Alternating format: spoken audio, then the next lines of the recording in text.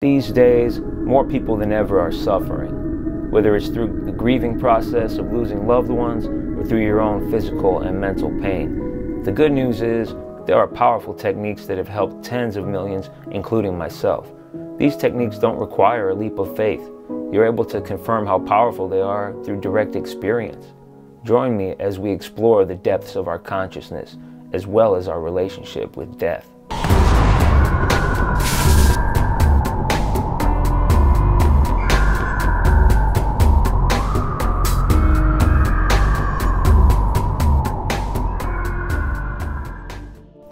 Really quickly, I wanted to thank you guys for the kind responses from my first video. Um, I've been loving the uh, messages I've been getting from all you guys. It's really helped a lot of you guys. And uh, this video is even more important. This is going to be the most important video I ever make.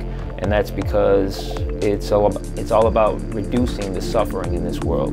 And it's helped me tremendously. It's helped so many others. I decided to make this video because it will be so beneficial to so many of you out there. I've overcome an insane number of things in life and somehow I was able to even graduate college while doing so. I've only been able to do so through the methods I'm about to show you.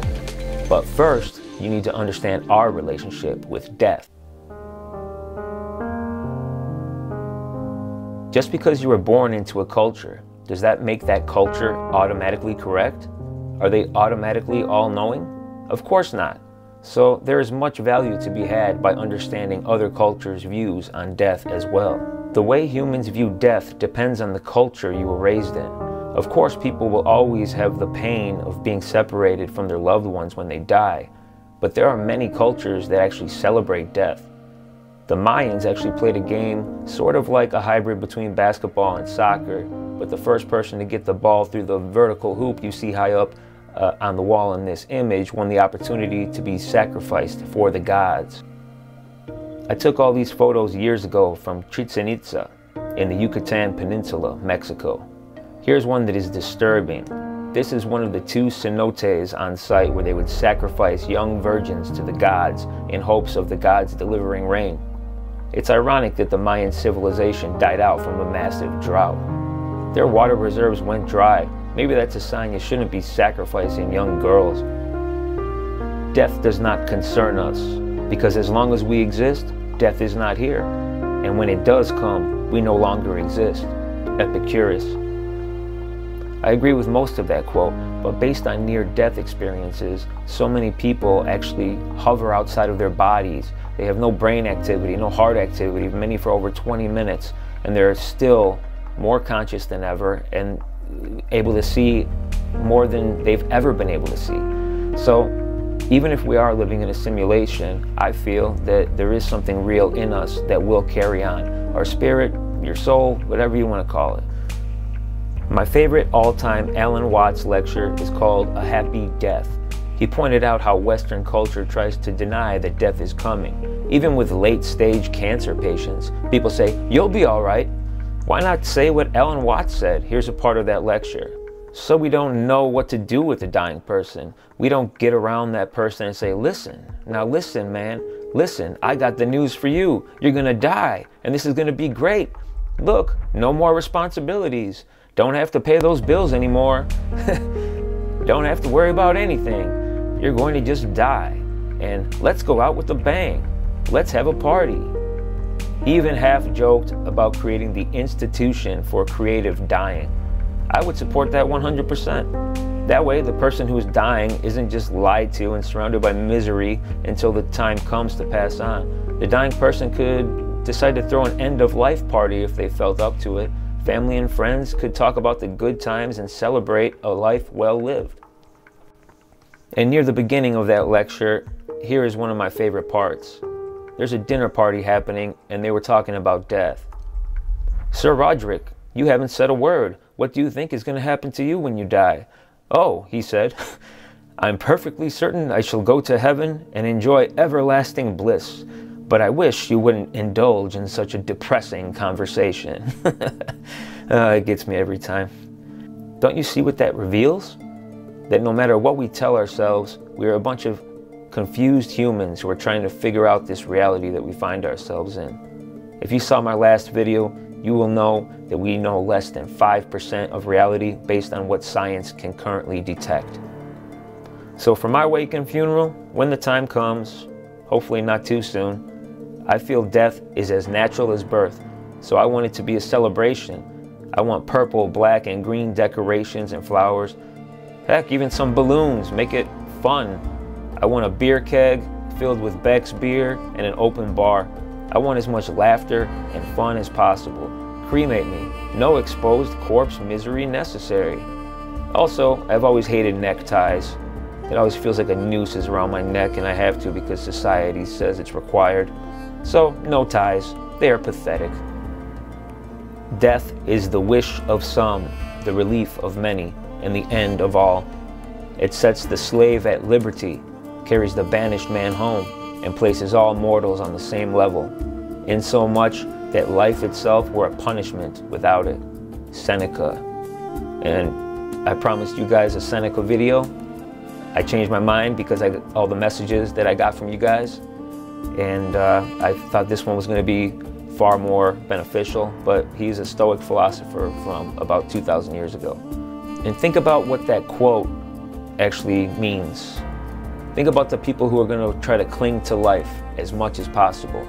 Jeff Bezos, Bill Gates, these filthy rich people. I'm not calling them filthy, just filthy rich. These people have everything going for them. They have the best of all medical uh, treatments. They can do whatever they want. And who are the people who are going to welcome death? That's the people in the alleys, the homeless people, the mentally ill, the diseased, you know, these people are suffering. It, it's horrific, and uh, I think we got to do more to help these people. Do you think Brad Pitt needs another woman throwing herself at him? Of course not.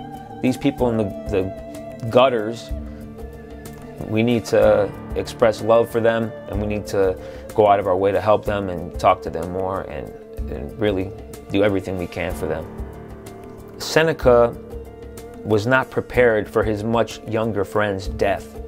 Because he was so much younger, Seneca never considered the possibility of him dying first. When his death happened, the suffering was far worse for him. If that can happen to one of the greatest philosophers of all time, it can happen to anyone. It is important to contemplate losing anyone you know. Well, it may cause some short term suffering in doing so, the longer term reduction of suffering is far worth it. This is our big mistake to think we look forward to death. Most of death is already gone. Whatever time has passed is owned by death. Seneca. What Seneca meant by this is well, think about it. Where's the baby you? The toddler you? The child you? The teenager you? Whatever phase you're in, the past is gone. That's pretty much death. It's already been happening to us the whole time. And speaking of that, Seneca also talked about how there's no such thing as a long life. Whether you live to your 20 or you live till you're 110, that's a blink in time. you have to check out my previous video. Humanity's barely been in this universe. Everything in history that you have ever heard of has been in a blink of time. Humanity's brand new. When great loss happens, death's close to you or your own approaching death, this is an opportunity for stepping completely out of identification with form and realizing the essence of who you are, or that the essence of anyone who is suffering or dying is beyond death. Eckhart Tolle.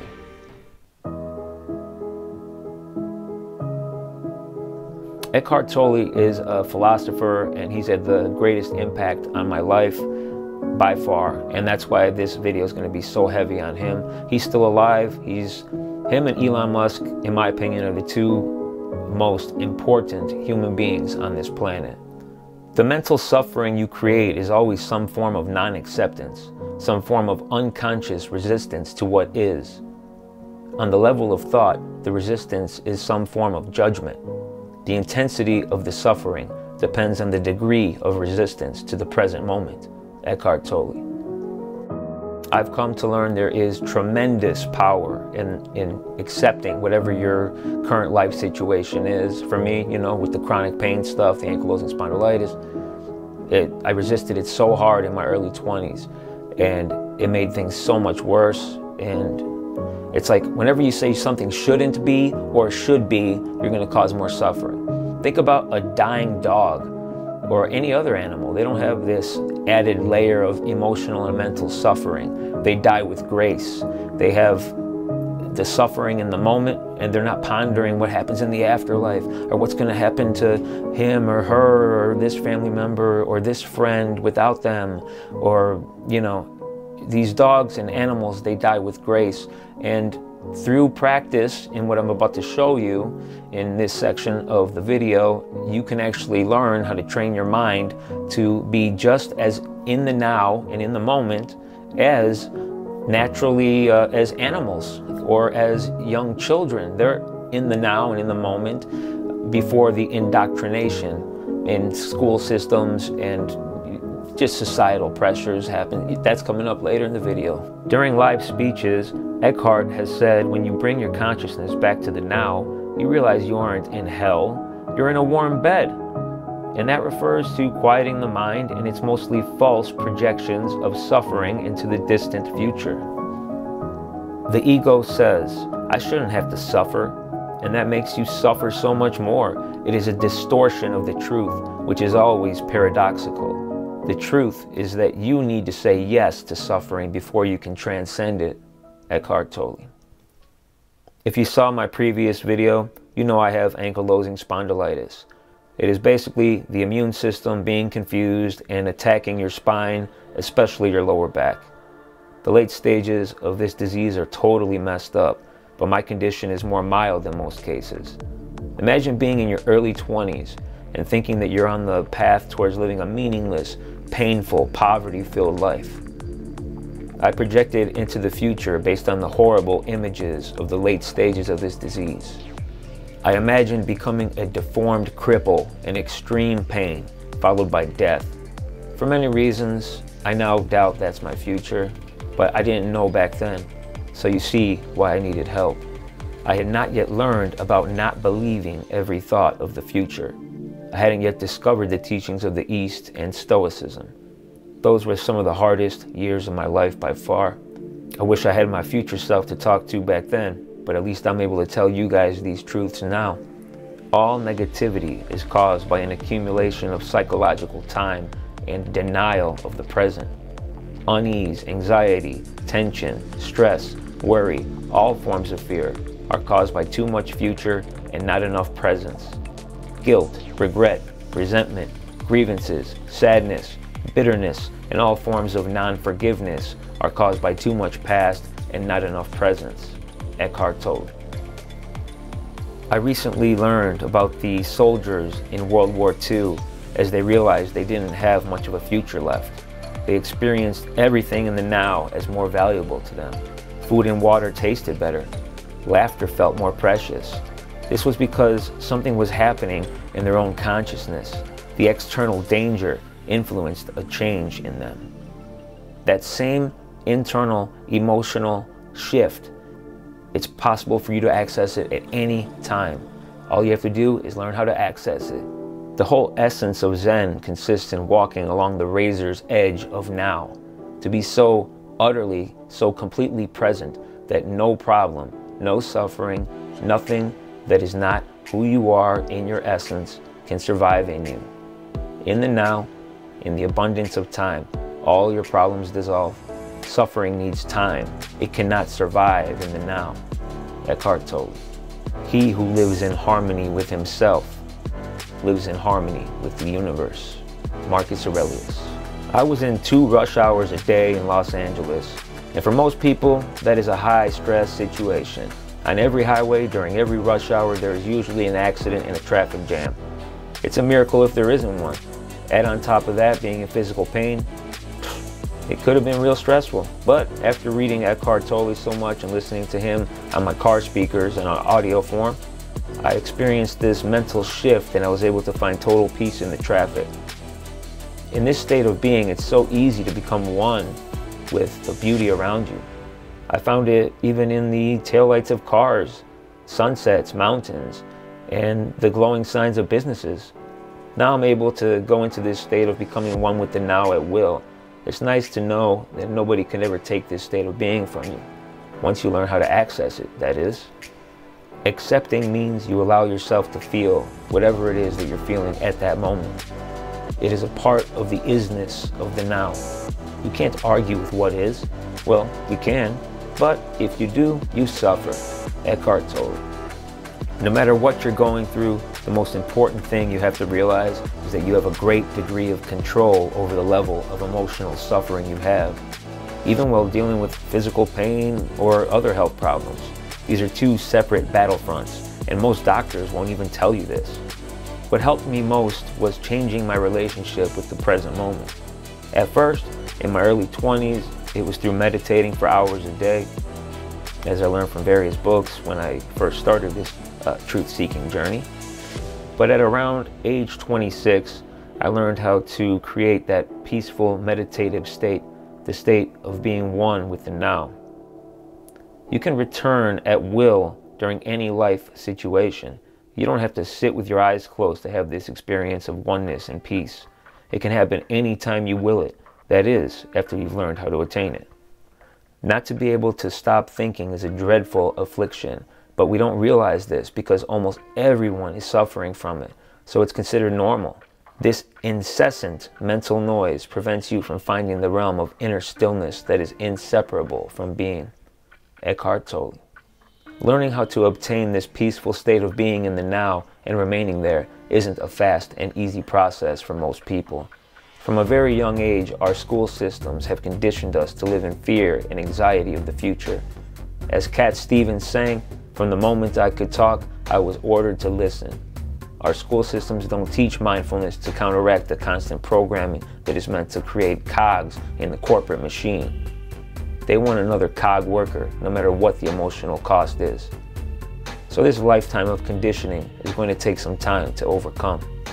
The National Science Foundation says an average person has about 12,000 to 60,000 thoughts per day. Of those, 80% are negative and 95% are repetitive thoughts. Think about how many nagging and useless thoughts are happening to you all the time. The key is to treat them like an annoying child who won't shut the hell up. Tune them out and focus on the now. Eckhart had his awakening when he said, I can't live with myself anymore. And he realized that there were two entities in that sentence, the myself and the I. He knew that couldn't be true. And in that moment, he realized he was the consciousness and the observer of the mental noise. Your automatic thinking that happens to you on a daily basis is not who you are. Realize that even if you tell yourself you're not going to have any thoughts whatsoever for two minutes, pause this video if you have to. Those thoughts are to come. You're to think about your kid. Oh, is he coming home from school? What's that sound outside? Oh, it's somebody knocking at the door. Whatever it is. Or you're to think, hey, look at this crazy guy on YouTube spewing his nonsense. Whatever it is, I don't care. But you're to have those thoughts. So, yeah, they happen to you just like the breeze, just like uh, the temperature outside happens to you. It's very strange when you really come to this realization. First off, realize that spontaneous and repetitive thinking is usually harmful. Eckhart is the very rare type who had this transformation in an instant. In one early speech, he said that the negative thoughts don't even try anymore. For myself and most others, it's a very slow evolving process. I forget where I heard this first, but basically this long evolving process could be compared to a dirty cup of water. You keep having more purified water droplets entering into the cup every day, you know, as some of it keeps evaporating out. Eventually, over time, the whole cup is going to become pure. It's going to become clear, good water. And that's basically what's going to happen with your mind. The more you dive into this kind of content, especially Eckhart and uh, Alan Watts is tremendous as well, but Eckhart breaks it down in a more simple, basic English form that's more accessible to just about anybody. The best way to enter into the now is to enter through what Eckhart calls are the portals into the now. And that is basically your sense perceptions. Uh, my favorite one is to focus on breathing because that's always there. And when you focus on it, you can't help but be tied down to the now. But your sense of touch, your vision is a very powerful one where you could just stare at uh, certain patterns in front of you, whatever it may be. Uh, auditory helps a lot too, especially if there's a like an ocean near you where you're able to listen to the waves crashing in, or even your sense of taste, but that's always short-lived as you eat, you know.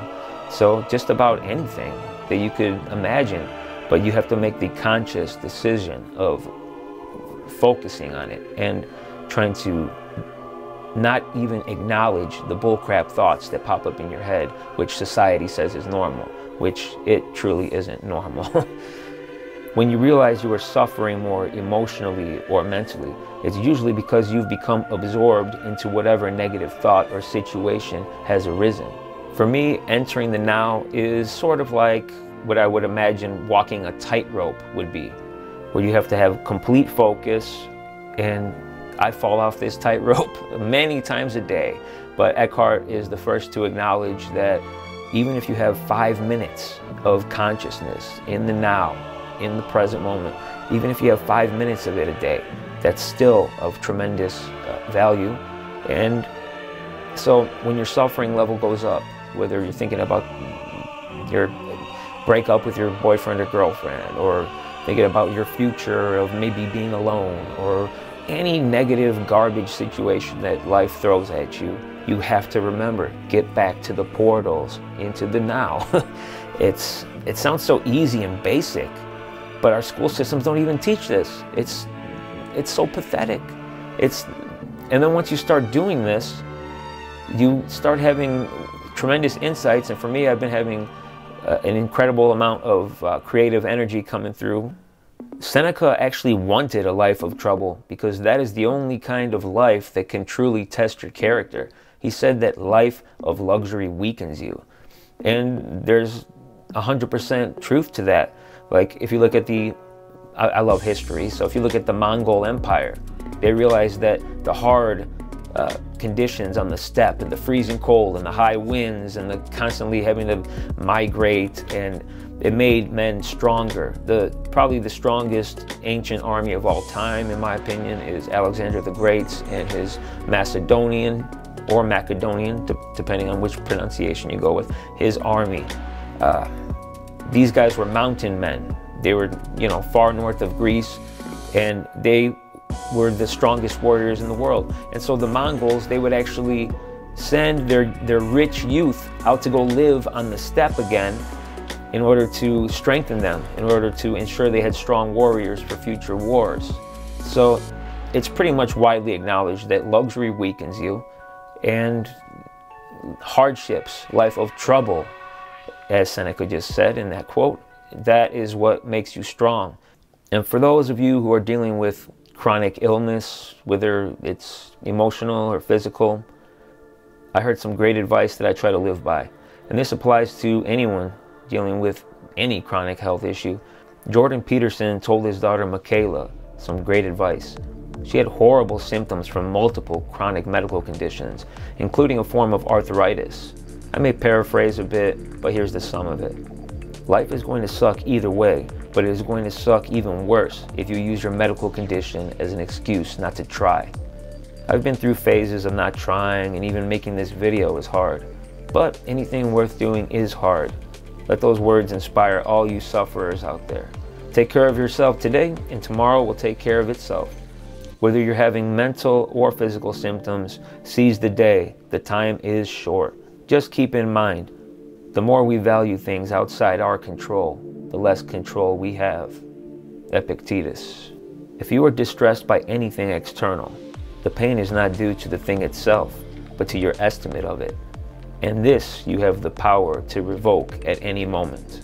Marcus Aurelius. True freedom is living as if you had completely chosen whatever you feel or experience in this moment.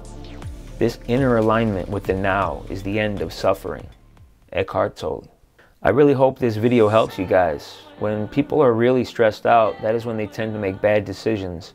I've lost so many friends to drug overdoses, whether it's taking hard drugs, joining a gang, bullying, or whatever else. Directing your consciousness to the present moment allows you to have a greater degree of control over your emotions. Desperation makes people do crazy things. I know firsthand. But I've been lucky enough to get away with my bad decisions. I'm just as flawed as anybody else. So please, if you know anybody who is suffering, share this video with them. Get them on that Eckhart path. In my opinion, his book, A New Earth, is his best. So get that one first. It covers the same thing as his more famous uh, Power of Now book, but written in a much better way. Also, the more you listen to his audio, the more it deprograms you for the better. You can regain that childhood enthusiasm for the little things in life. It's just a matter of putting in the time. Thanks for watching, guys. And I end, like normal, Memento Mori. Remember, you shall die. How appropriate for this video. But uh, yeah, hit the like button and uh, subscribe and hit me up on social media. I want to hear if this video helps you guys. And uh, I really hope it does. And that's the reason I decided to make this one instead of the Seneca one. Uh, hopefully I get that Seneca one done pretty soon. Much love to you guys. Memento Mori. Peace out till next time. Also be sure to check out my other epic visual video on the nature of reality. It's even more beautiful than this video.